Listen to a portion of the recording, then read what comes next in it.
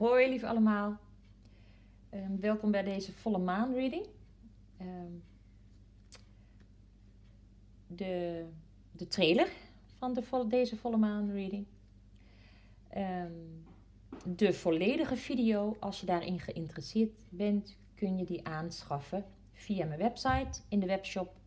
Onderaan deze video plaats ik de link. En ik eh, wil je vriendelijk vragen om voor nieuwkomers eerst goed de gebruiksaanwijzing eh, te lezen. Deze volle maanreading is speciaal bestemd voor mensen die zich behoorlijk verzetten tegen transformatie. Ehm, die ehm, behoorlijk wat berichten krijgen van de ja, via synchroniciteit, maar toch geneigd zijn om vast te houden aan oude manier van doen. En met deze volle maan kun je het dan heel zwaar gaan krijgen. En daarmee wil de spirituele wereld je niet bang maken, maar wel wakker schudden. Um, deze volle maan, het is een bloedmaan. Alles wat je in jezelf nog negeert. Oh, dat was een hele stapel. Die ook even opnieuw. Alles wat je in jezelf wel best weet, intuïtief, maar wat je negeert, wat je weigert om de ogen te zien, dat komt heftig naar je toe. En ik zeg altijd, wacht niet tot er een ramp gebeurt. Prince of Swords. Die past er helemaal bij, voor zover ik dat nu kan beoordelen. Deze is voor de Prince of Swords bedoeld, in de man of de vrouw. Ik, ik haal hem even erbij. Uh, uit het boek. Knight of Cups, uh, Prince of Swords.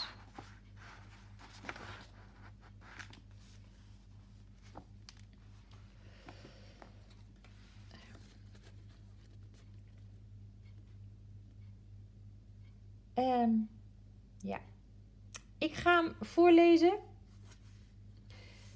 vanaf een bepaald, uh, even kijken. Ja, Van, vanaf hier ga ik hem voorlezen.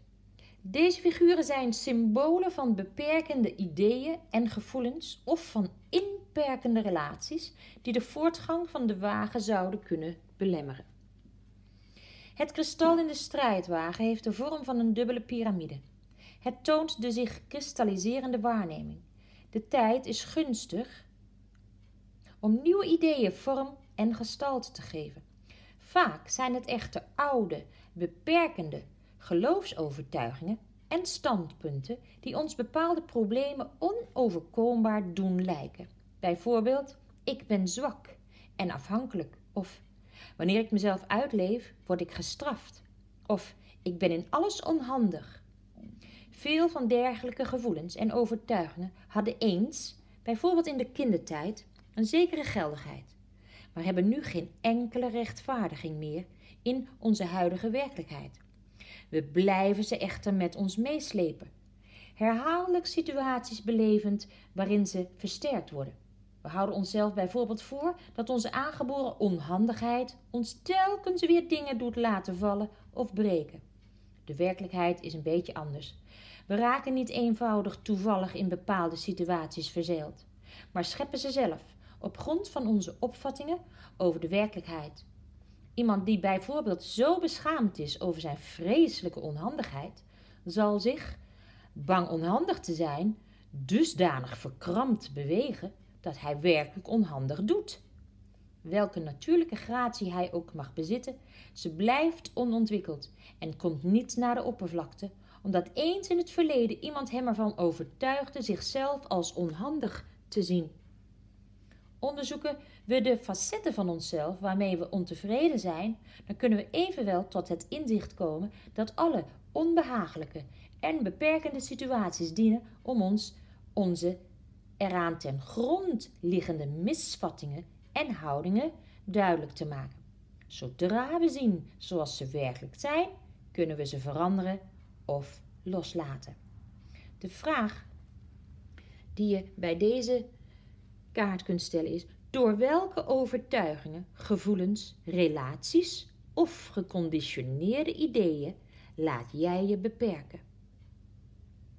Bevrijd jezelf van alles wat jouw geest beperkt, maar overtuig je ervan dat jij je ideeën en plannen uitdrukt op een manier die anderen kunnen begrijpen. Aanvaard hun oordeel in alle nederigheid. Je kan in je denken je tijd vooruit zijn, maar het hier en nu is de toetssteen waaraan je visies gemeten worden. Leer creatief te visualiseren en mijn creatieve mogelijkheden zijn zonder grenzen, behalve die welke ik zelf stel. Wauw. Dit is precies bijpassend uh, bij deze reading. Alles wat je nog wat deze prins van zwaarden nog, um, ja, je wil laten zien, hè? Die, die, die beperkende gedachten over jezelf, dat je onhandig bent, dat je zwak bent, dat je afhankelijk bent en, en daardoor in een impasse blijft zitten. En daardoor maar blijft doen zoals je het altijd al hebt gedaan. Um, dan kom je in, in het verhaal van um, deze reading terecht. En dat gaat je een, zware levenslessen opleveren. Als je hierin blijft zitten, terwijl je al heel erg gegroeid bent en uh, wijsheid hebt verkregen, maar dat je toch deze overtuigingen nog leidraad laat, draad laat zijn in je leven. Van ach, ik kan het allemaal niet. Dat is niet waar. En kijk daar nog eens naar en neem leiderschap. Blijf niet in de slachtofferrol van, uh, het heeft allemaal geen zin, want ik ben toch onhandig, ik kan het allemaal niet. Je kunt het wel. Neem leiderschap.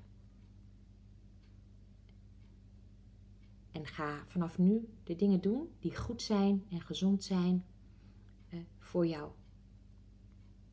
En laat je niet beïnvloeden door oude overtuigingen. Dat was het voor deze trailer. Ehm, ik hoop dat als je de, de volledige video gaat, gaat kijken, dat het je vooral verder gaat helpen in uh, dit proces. Het uh, volle maan, het in bloedmaan, het, het is behoorlijk heftig. Bevrijd jezelf voor dit soort beperkende uh, overtuigingen en neem anders hulp van anderen aan die zich uit deze beperkingen hebben kunnen bevrijden. Heel veel liefs.